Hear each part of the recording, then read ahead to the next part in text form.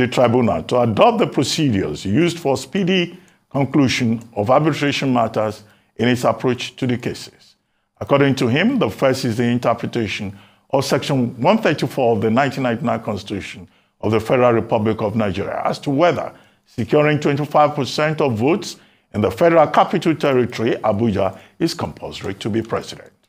And on the second, he queried the legality of a candidate being allowed to stand for presidential or vice presidential election when he is at the same time a senatorial candidate. Joining us now on the morning show is Dr. Olisa Agbakoba, a senior advocate of Nigeria and a former president of the Nigerian Bar Association. Good morning, uh, Dr. Agbakoba, and thank you for joining us on the morning show. Well, let's start with your. Good morning, Robin. How are you? I'm good, thank you. Uh, let's start with your proposal that uh, election petition cases at the Presidential Election Tribunal can be concluded within seven days uh, if uh, the uh, Absolutely. if if the tribunal yeah. Uh, takes a more proactive approach to it. But how feasible is that, considering the fact that election, you know, petitions have time limitations. They have a time frame. The Constitution talks about 180 days. Uh, when you appeal, you have 60 days. Mm. And then we're dealing with an election in which you probably have over 10,000 polling units. How do you do all of that within seven days mm. and before May 29? Uh, shouldn't you yeah. be recommending that the Constitution has to be reviewed first? That challenge about time limitation should be addressed and properly defined. Otherwise, how would uh, the courts do it in seven days or before May 29? Yeah, thank you very much. No, no. Uh, there's a there's a context in which I've, I've recommended that we should finish the petitions as fast as possible, and I think seven days is a good time to go. The fact that the Constitution prescribes a time limit doesn't mean that that time limit must actually run. So the context of my call is that the polity is overheated. The other day, the Minister of Information is accusing Mr. Peter Obi of treason. People want interim government. There are all kinds of things going around. There's a whole shebang of things that seems to want to destabilize Nigeria. The DSS is shouting that there are people who are all over the place doing things. And the simple problem is just to resolve the election petitions. So the question is not whether it is doable, it is whether it can be done. So I start by saying that the judicial philosophy of Nigeria is about 100 years old. Nigeria is not known for speed. Why is it possible that Ghana finishes its own election petition in 30 days? So why can't we also do it here? Why should we have 360 days to do something that is fairly simple. So the new international gold standard, and I sit as a senior arbitrator in, in, in the city of London, and what we do is we apply case management. So my first recommendation is to say, the issues presented to the tribunals, are they amenable to quick resolution? And I think there are three issues which you've outlined that are amenable to quick resolution, one way or the other. Now, under the Kenyan procedure, those procedure, those questions that I've set out are decided in exactly one day. So if I was the presiding judge of the tribunal, I would give two hours to the petitioner to establish the case whether 25% of uh, FCT is relevant in the consideration of who is the president or not. I would give time to Mr. Tinubu's people to reply, and I'll deliver a ruling at 6 p.m. What's the difficulty? These are purely matters of law. So it is absolutely feasible. If those three questions do not succeed, then the part A of the petition would be now to do what you say, take the issue of electoral malpractice, which I concede will be a lot longer. But I have a strong feeling that those three questions I have set out can resolve the petition one way or the other. And it can be done in seven days. If, if Kenya can do it in 14 days, why do we need 360 days to do our own? Uh, are we not more highly judicially educated than Kenya. So come on, let I mean, and I also would, without criticizing the lawyers in the petition, since they filed the petition, I haven't heard anything from them. There's all sorts of procedures by which you can front load a case, push it, set out procedural issues, set out jurisdictional issues for the tribunal to determine. That's number one. Two, the tribunal itself can, of its own motion, suo motu, raise questions. So we've read all these petitions, and we think we can dispose of this petition if we set out some questions that, if taken, can resolve the entire thing. I'm concerned that the politics overheated, and the way to go is to see if we can get the petitions resolved before May 29. The elections were in, in February. That's about four months. What's the difficulty about resolving these cases well before the handover? Kenya has a procedure whereby they lay out a policy. There shall be no inauguration until the petitions are complete. And in the Uwais uh, uh, panel, which I was a member, we, we set out that procedure. There's a certain unfairness for a petitioner to challenge the president, a president-elect who goes on to get inaugurated. That's what's causing all the problem. So let's give it a go. Let the judiciary give it a go. Let the lawyers in the, in the tribunal give it a go to see whether we cannot accomplish what I've described in my letter. So that's the basis of my letter. All right. Reuben. Well, thank you very much, Dr. Agbakoba. Good morning and good to see you. One of the things I'd like to ask you, you've yeah, painted a very good picture in terms of how things can work if it's settled as you recommended. However, yes. there are still a few mm-hmm. challenges, perhaps.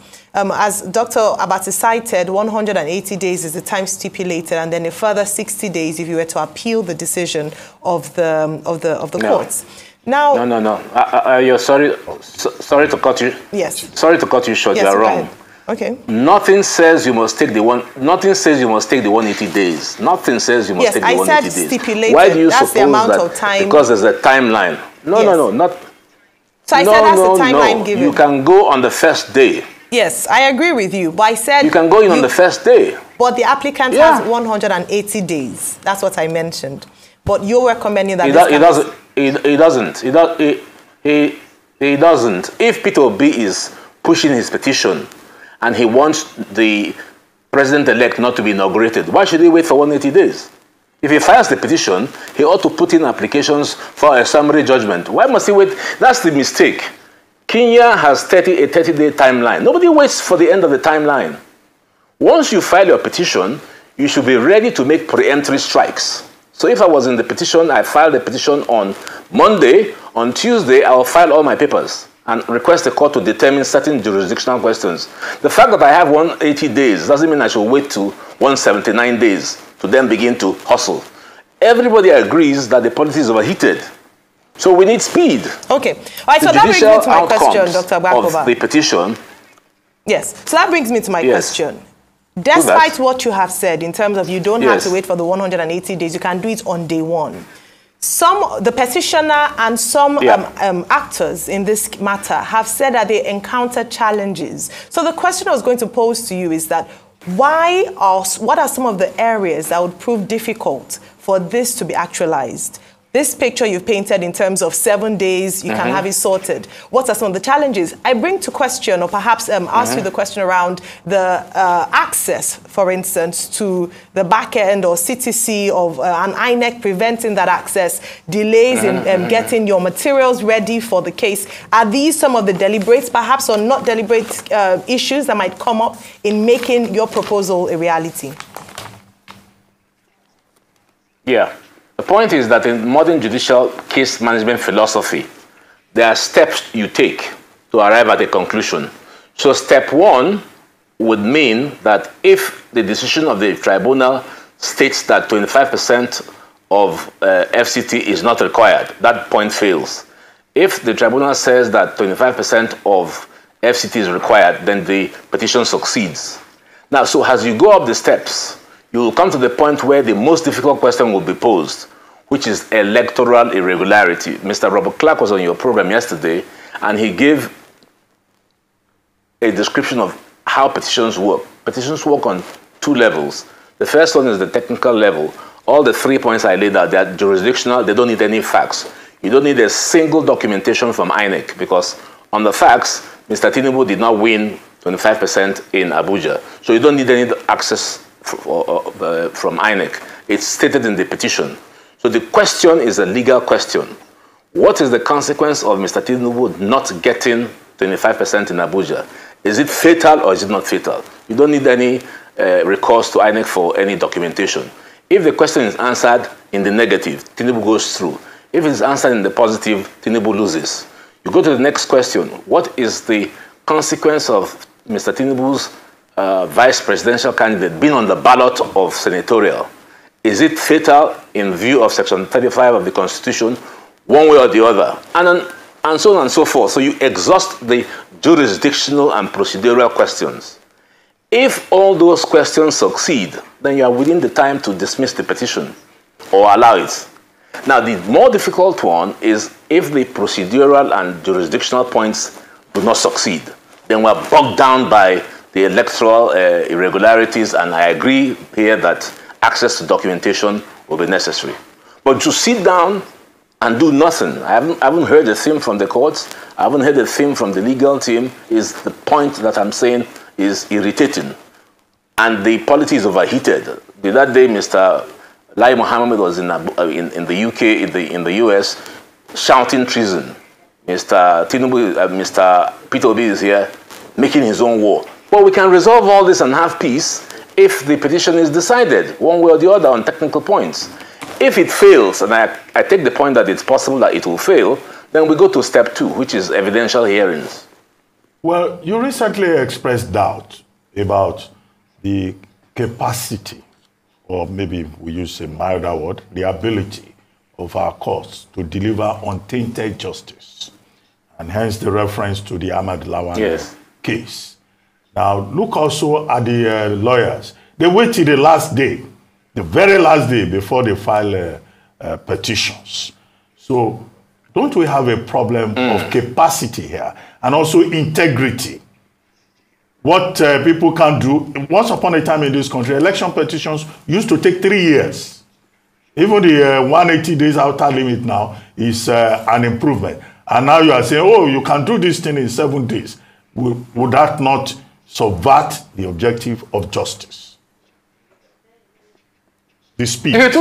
So long as you deliver a good decision, if you give a man an opportunity to say, you're saying that Mr. Tinubu should not be president on the basis that he didn't win this. Tell me why. Do you need, do you need uh, 20 days to do that? You don't need 20 days. It's a legal question whether and in section 134 is contiguous or not. It's very simple. A bench ruling can be given on that. I've done big uh, arbitrations in the city of London and decided the point in three hours. So there's nothing that, you see, the problem is our judicial philosophy. I'm just looking at the Kenyan one. It says here, sustaining judiciary transformation. That's the Kenyan one. Sustaining judiciary transformation. How can this country, the so-called giant of Africa, run a judicial system that is 100 years old? That's the problem. The no. NJC is not doing anything to create a new. Yes. You know, I get I get that point about best practices, where about gold standard and yes. all of that. But this uh, section 134, yes, you have referred to it about twice now as yes. one of the questions to be addressed.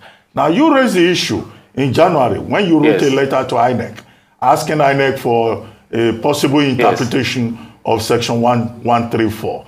Well, I would like to know whether you got a reply. Yes. And then, as a senior advocate of Nigeria, what's your own opinion, which you have not documented, about the interpretation of that section 134, sub 2 in particular? Well, I did a letter to INEC, and if they had answered me, maybe you wouldn't have been in this in this logjam. But I had an interview. They didn't reply, by the way. But I had the closest they came to reply was an interview I did on TVC with a my good friend Festus Okoye. And he admitted that it was an issue that required to be resolved. And I was surprised that they did nothing. My own view is that Section 134 applied literally, literally, because the rules of interpretation say if you read something and it's so clear to you, then you don't need to interpret it.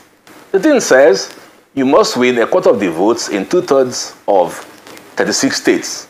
And, and, and so what do you want to say? The answer is obvious. So the presidential candidate the answer does, is obvious. does not have to get 25% in FCT. Otherwise, it will amount to an absurdity. If he already has 25% in, say, about 28 the, states. No, I didn't say that. I said no. I want you to break you break it down. Twenty-five percent. I want you to break it down in a way that the ordinary I've just broken it down. no, let's apply. I've just, I've, just, I've just broken it down. uh, Reuben, I've broken it down. You have, you want to put words in my mouth, which I won't accept. It's so simple. You get a quarter of the votes in 25%, in a quarter of the votes in two thirds of 36 states. That is what the law says, which is 24. So that's one part of it. It goes on to say, and. What does that mean? And the FCT. So as far as I'm concerned, you must also win 25% in the FCT. But that's not for me to say because I'll be judging what is before the, um, the tribunal. So we think the tribunal can answer this question quite easily in one hour. That's my point. Quite easily. All right. It's not a difficult question to resolve. All right. Well, Dr. Agbakoba, you also talk about, just going back to what uh, the question that had been asked previously around your confidence in the judiciary. You had said in an interview, in a previous interview, that in the past yes. you could look at the weight, you could analyze the case before the, uh, the, uh, the court and be able to make a decision that would possibly tally with what the court would come up with based on the merit of the case. But in recent times, and you cited a few cases where this had happened, yes. it's not quite the same. I'd like you to speak a bit on that in terms of the confidence or lack yes. of that you have in the courts. And second of that question is on INEC's role as a respondent. What you have said is that INEC should come in as a neutral witness where they're just coming to present to the courts the facts or yes. the act, what actually happened during yes. the elections. Unfortunately, what we see happening is that INEC comes in almost as if working with the respondent, yeah. so coming to defend, and in your words, with sweat and blood, what had happened, and this ought not be the case. I'd like you to speak a bit more on that, please. Yes. No, absolutely. You remember when uh, Mr. Shehu Shagari of blessed memory was president, he acknowledged that the process that brought him was flawed, and he set up the Uwais panel, and I was a member. And we came out with a set of recommendations which has not been implemented today. One of the key recommendations was INEC must not be a party. Because if INEC becomes a party, it's forced to defend the petition. The last election in 2019, INEC was even more active than Mr. Buhari in defending the petition. The only role for INEC is to just to say to the tribunal, these are the results. These are the documents we used, and the court will assess it. So I'm of the strong opinion that INEC ought not to be a party at all. So now INEC is a party, and therefore it is hiding documents because it has an interest to say that the elections were conducted properly. So I hope that the lesson from all this really is that the 10th Assembly will inaugurate all the legislative recommendations we made under Uwais in 2007. It's time to, it's time to demystify election petitions. Election petitions are not, not, not difficult. I've handled a lot more difficult and complex financial cases in the City of London. So what is the issue about determining whether Section 35 states that if you are a vice presidential candidate on a, on, on, on, on, on, on, a party's platform, you couldn't be uh, a senatorial candidate at the same time? What, what, is there any difficulty in that? It's simple English. That would take me two minutes to decide. So I still reiterate, seven days is enough time to go through the Court of Appeal at first instance and the Supreme Court. The only way, place where there might be a difficulty is if the questions I set out fail. And there's a strong possibility that they might fail. So we'll now go to part B of the case management issue, which is Peter Obi and other petitioners will now have to prove the irregularities set out in the petition. That would be a long time. And I guess that's why there's the 180 day timeline.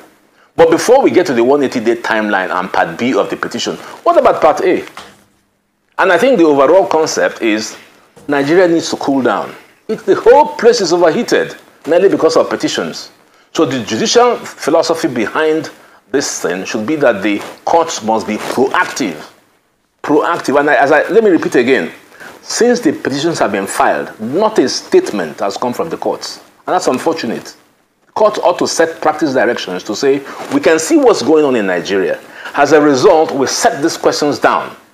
We hereby issue procedural order number one and set out these questions and invite counsel on both sides to address us. And once we hear the addresses, the judgment will be delivered the following day, one way or the other. Why can't they do that? Well, That's my simple point. Why can't they do that? I would like to know. Well, two quick things.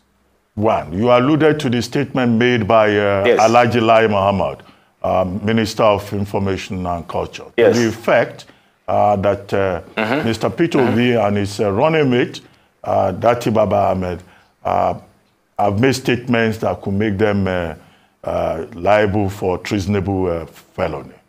And then the second thing, yes. the second thing yes. will be what you think of all this general talk about interim national government and the DSS coming forward to say, well, that's a mm. taboo subject because it will, it will amount to subversion. Yes. Yes. Yes, but you see, the problem is because there's a strong feeling that Mr. Tinubu will sworn in and the petitions are running. And there's that feeling, ah, but if the man is sworn in, then what are we doing in the courts? That's the problem. And that's why I say, let's get these petitions resolved. I don't agree with Mr. Lai Mohammed that what Mr. Obi is saying is treason. I don't agree. But if we go below what the problem is, it's to do with the fact that Mr. Tinubu is likely to be sworn in on 29th of May 2023, whilst the petitions are not even heard. So why don't we try, even if we fail? Suppose my theory of seven days doesn't work, but let us try now. Let's try to see if we can get it going. And if we get it going, that is a plus for everybody. Why must we be in this continuous political, you know, uh, quagmire of everywhere is in confusion? I really would urge the tribunal and legal team on both sides to do their possible best to push this case to the possible limit where we can see if there can be a conclusion before the swearing in. But clearly, I have said that I do not believe and the constitution does not recognize anything like an interim government. It's a total uh, contraption. So as it stands now, Mr. Ahmed Bola is the president-elect, whether we like it or not and he's going to be sworn in on May 29th, whether we like it or not. Many guys are going to be unhappy because they will say we have petitions. So in order to balance out justice, could we please get these petitions if they can be resolved before that date so everybody is happy? If Peter Obi loses, then he goes home and knows he's lost. But why, why hang the thing? I can understand Peter Obi's concern and Datti Mohammed's outburst if Mr. Tinubu is being sworn in at Eagle Square and the petition is hanging in um, the, the Court of Appeal. That doesn't sound too right to me. So where we strike the balance is to give our best possible shot to finish the petitions. Let us at least try. There's no point all sitting down and saying, can it be done? Let's try to see if it can be done. All right. All right. Well, thank you so much. I'm, I'm glad that you talk about and you push a strong case for the fact that it can be done, even though it's never been done in Nigeria, but doesn't rule out the possibility that it can be done. But I asked the question earlier, and I'd like you to uh, revisit it if possible. Bearing in mind all the things you said, mm-hmm. why is it then not an option to take? Why is it taking so long? As you mentioned, the courts haven't yet responded, at least um, until now, to the petition submitted by uh, both Mr. Peter Obi and Alhaji Atiku, because a number of a number of parties did submit their petitions. What is stopping judiciary? Mm-hmm. What is the barrier? Why can't we achieve this? What are the issues? I know we've talked about you know justice being served, not to sub- subvert justice, but what are the bigger issues beyond just a will to make this happen? Look, I sat on the NJC, the National Judicial Council, for almost four years, and I found the place toughy and very conservative. And I pushed the case all the time that the National Judicial Council ought to do a lot more than it is doing. And that's the problem. We need to modernize the justice sector delivery process. I've got a case in court, even though I'm former president of the Nigerian Bar Association. It has sat in the High Court for 12 years. 12 years. Some cases take 20 years. There's something wrong. The confidence in the judiciary, which I expressed at an interview, I think, uh, with channels, is the fact that people say if you go to court, you don't get any, any, any, any decision. You just sit down there. So isn't it time that the National Judicial Council can say, look, no, no, there's something wrong here. We need to shake things up. And that's what um, this uh, Ghana did, and that's what Kenya did. Kenya, how is it possible that Kenya can finish down in one day? And we can't. We have more judges than Kenya. We had our judges out in Kenya training people, sitting on their high courts. So why can't we do it? We're not doing it because of lethargy. That's all. There's no other reason. The elections were on 25th of February, 25th February to March 25th. This is going a month and a half. Nothing. That is that beggars belief, as far as I'm concerned. Beggars belief. So okay. let I appeal to our, our, legal system to shake the entire thing up.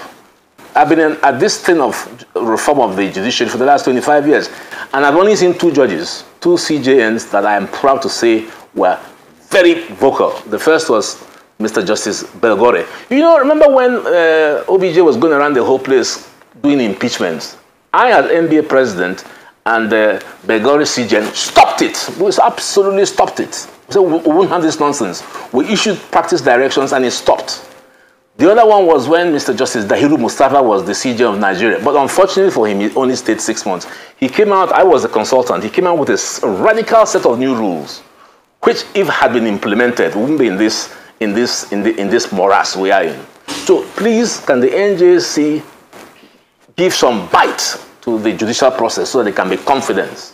Because confidence in the judiciary as a result of the slow snail pace of cases is affecting the public confidence of people to go to uh, take their cases decided. And that's what's happening in Nigeria. People have filed a, a petition, nothing has happened since it was filed, and the NJC is sitting down there, and the electoral uh, tribunal is sitting down there not saying a word. I don't think that's right.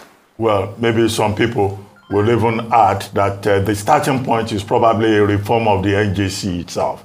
But this uh, conversation has been Absolutely. about... this conversation yeah. has been about the election petitions at the presidential level. Will you make the yes, same yes. argument at the state yes. level? Will you make the same argument at the state level? Considering the fact that, you know, the state, at the state level, the level of uh, incapacity is even worse. And I ask you, is anybody listening this time around? Is anybody listening this time around? I've yeah, yeah. That's the problem, uh, Reuben. No one's, no one's listening. That's the problem. Nobody's listening. I pushed this thing about judicial reform for 30 years. Nobody is listening. But could we please get our people to listen? That's why, that's why our democracy is fragile. Okay, if we say that... Uh, I think I've lost you. Okay, can you hear me now? Hello? Yeah, I can hear you. Okay. If this is where we have found I can. ourselves. Yeah, I can hear you. If this is where we have found ourselves, the pe people resisting ideas and all of that, well, it means, as you pointed out, that by May 29, we will have a presidential inauguration. Now, you talked in the past about yes. the ideal president for Nigeria will be a president that can deliver hope. Now, the president elect on the platform of the yes. APC is talking about restoration of hope. Do you think that Bola Ahmed Tinubu would fit into that picture, that your picture of an ideal president? I don't know. I hope. I just pray. I mean, what I think, personally, I'm apolitical. So whoever gets in there, I'm interested in Nigeria turning around. So I would hope that if Mr. Tinubu gets in and is done with all the petition or Mr. Peter Obi or whoever. I'm not sure. Look, you know the point. I'm not sure Nigerians really care who is the president. Nigerians are interested in what Fayose, you know, famously described as stomach democracy or OBJ described as dividends of democracy. So I would urge whoever finally gets to be confirmed Nigerian president to just do right by Nigerians. And if Mr. Tinubu can do so, welcome. If it is Peter Obi, Nigerians are just tired. They aren't interested in, you know, who is there particularly. They're interested in how development can come, how you, the healthcare system can be turned around, how you can create jobs, how you can push back on employment, how you can increase the debt to revenue profile, how you can make Nigeria a country where we feel blessed and we don't have people, you know, running away. Nigeria has the potential to be a great country, but we need leadership. So if Tinubu can bring it, Fine. If Mr. Peter Obi can bring it, fine. I have no political preferences. My only, my only concern is that Nigeria ought to be a great country. And I think it can be a great country. Right, but it's losing the ability to be a great country. That's the problem. Okay, so I must um, touch on this interim government. I know you talked about the fact that what um, yes. Alhaji Lai Mohammed had said with regards to Mr. Peter Obi is largely unfounded in terms of it being treasonable. But you have spoken about this DSS's um, talk about some people, no names mentioned, uh, trying to find a way towards an interim government. And you talk about there being no constitutional provision for one. In the 1999 Constitution, there is no provision for an interim government. However, this term has been bandied. Yes a lot in the last few weeks. In fact, perhaps even before the elections, you know, here and there, that if this doesn't happen, there'll be an interim government. Yeah. What should the government be doing? Mm. They haven't released names, you know, as to who is. The, they said it's going to be through protests, unrest, making you know the nation ungovernable, and then going to an interim government before a swearing in can happen. What's your take on this? If there's no provision for it in the mm. in the constitution, who are the people clamoring for it? How will this? Mm. How do they hope to go about doing this? Mm. And how can this be nipped in the bud? Mm. Yeah, see, but that's that's the whole essence of what I've been saying. The problem is what we call in logic cause and effect. The cause of all this cry for an interim government and the response by Lai Mohammed and the DSS is because they want Mr. Tinubu to be inaugurated by May 29, irrespective of the decision of the tribunal. The other guys don't want because they think it's unfair. That's the real problem. That's the real problem. So I'm not really concerned with, you know, uh, the call for interim government, which I think is, you know, is, is unconstitutional. My concern is I've identified the problem as if I were a medical doctor. And I can see that if we really resolve the petition, then the issue of, okay, look, if the petition comes down on a decision on 23rd of May, then we have no problem because 29th of May is ahead. So let us say Mr. Mr. Obi loses. Then Mr. Uh, Tinubu can then go on peacefully to be inaugurated. There will be no call, oh, you are getting inaugurated, but you are still got a case in the, in the, in, in, in the courts. So the real issue would be let us all put our energy to resolve the petition. If we resolve the petition, all the questions you ask about interim government, DSS, the slander, the issue of treason will disappear.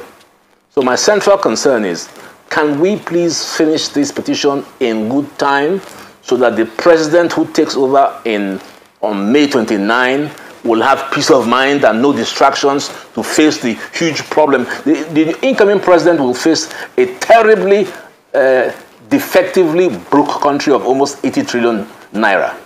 That's going to be a huge, huge obstacle. And then if you put the wahala of is his presidency legitimate, legitimate, that will make it very unstable for him. So let me go back again and repeat. Can we please get these petitions away so that whoever is the president can focus on giving us a brilliant and good and developed Nigeria with an agenda that I've read all the agendas. Peter Obi's agenda is, is brilliant. Mr. Tinubu's agenda is brilliant. Whether they can implement is a different thing. But I don't want them to come with the problem of uncertainty around Nigeria interim government and all that. That can be resolved. And that's the reason that I have so strongly emphasized let us try and get this petition away from the equation. Ghana, uh, uh, uh, Kenya can okay. do theirs okay. in 14 days. Why do we need 360 days to do ours? Can you think of that? Is that not uh, ridiculous? Small Ghana, Kenya, okay, yeah, you can say Kenya is a small country, so they don't have the mass of uh, materials that we have. But let's try. Uh, what, what, what, what stirs my soul is we just sit down helplessly and do nothing. Let's give it our best shot.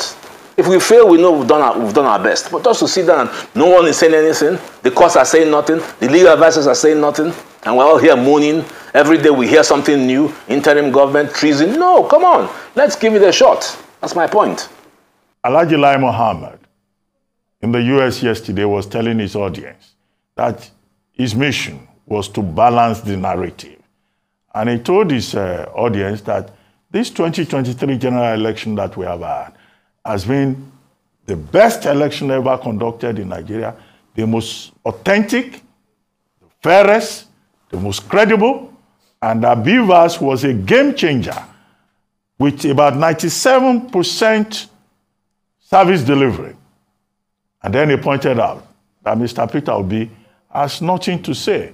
That he came third in the uh, election, And that how can somebody who came third, who did not even satisfy the condition in Section 135, by claiming that uh, his mandate has been taken away uh, from him? So it will look like, I mean, it, according to that, uh, Mr. Um, uh, um, Lai Mohammed, it's better to just talk about maybe Asiwaju Tinubu uh, and then uh, Atiku Abubakar of the PDP, and that Labour Party has no case whatsoever. How do you react to that? Is logic? Well, let me just even push back on a few things I said, you know, because being a lawyer and former NBA president, I have to be careful that I'm speaking live, people are listening to me while there's an active petition. So I think I, I would, I would sort of like, like to push back on, let's allow the, um, what, what do you call it, the, the petition uh, deciders, the electoral, the, the um, uh, election petition tribunal resolve some of these issues. Let's not, yeah, we can express opinions, but I would rather prefer that the uh, judicial process be the ultimate decider so that we don't go prejudicing and speaking out of turn. But having said that, I think that neither uh, Mr. Tinubu nor uh, Lai Mohammed can really quarrel with Peter Obi's complaint that the elections were not properly run. And in fairness to Mr. Tinubu, he didn't conduct the election. So I don't hold anything against him. Mr. Tinubu did not do anything wrong in becoming the presidential, uh, the president-elect, because the election was done by a supposedly neutral third party. So I, am not sure that Mr. Tinubu or Mr. Lai Mohammed needs to get into the fray because they didn't conduct it. They're not the electoral management body. It's Peter Obi's accusation or complaint goes to INEC. But if you were to ask my view, and I've been in election petitions for a long time, this is one of the worst uh, uh, election petitions ever conducted. I say this for a number of reasons. First, if you listen to the chairman of the electoral uh, um, uh, management body, the INEC, he made clear to us ad nauseum, BVAS is the magic. Now it turns out that BVAS wasn't the magic. And I had the unfortunate displeasure of actually checking what exactly is BVAS in the law. And I was shocked that actually BVAS is not what we thought was represented to us by the National Assembly in the enactment of the Electoral Act 2023. To summarize, BVAS is no more than a tool to accredit a voter. So I suspect, without saying that is the way it will go, but I suspect that BVAS is not going to be as important in the petitions as we think. Because the Oyo, the Osun Court of Appeal decision did not accept the argument by the appellant that the BVAS is the magic vote that determines overvoting.